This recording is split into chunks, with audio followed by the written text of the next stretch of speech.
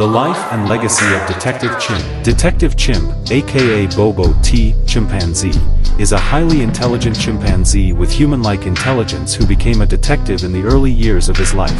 He was known for his exceptional solving abilities and his proficiency in various human activities such as reading and writing. He was a close ally of other DC detectives such as Batman, and was respected by many as a respected member of the detective community. Despite his ape form, he was a symbol of intelligence, integrity, and justice in the DC universe. His legacy lived on, even after his death, as a reminder that the most unlikely of heroes can make a difference in the fight for justice.